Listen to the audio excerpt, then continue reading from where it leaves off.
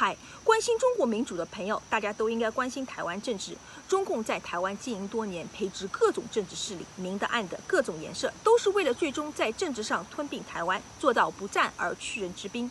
中共拿下台湾，实现所谓的统一，对内它就更具有执政合法性；对外，它控制台湾海峡，把美国驱逐远东第一岛礁战线，对日本、韩国和东南亚都形成威胁。台湾的首富郭台铭在国民党初选失败之后退党，非常有可能出来选总统。郭在大陆的投资占百分之八十，而他的产品和客户又主要都是在美国，他可以说是吃中美贸易饭发家的。他在中国、美国高层都说得上话。这是他选战的卖点之一，但是现在世界形势完全不同，中美已经对立，冷战已经开始。郭现在要的就是两头保，尤其是在中国那边要保住他的投资。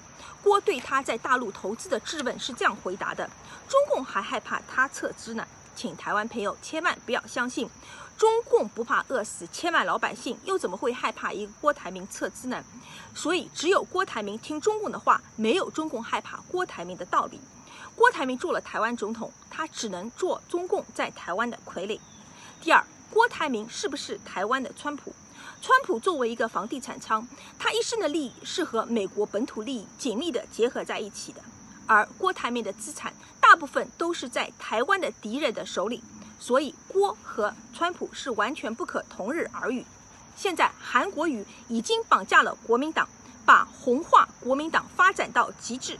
而红色力量也依靠国民党的组织借壳上市，在台湾在台湾肆意扩张。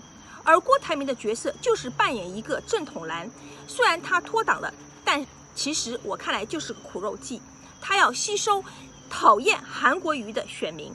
柯文哲最近也爆出了，他曾经的金主也是红得发紫的蔡旺旺。蔡旺旺在找到韩国瑜之前，给柯文哲一个白色的政治纲领。那其实就是一个红色政治纲领，所以无论是蓝还是白，其实都是红，都是中共在背后操盘，就是要压缩反共的空间。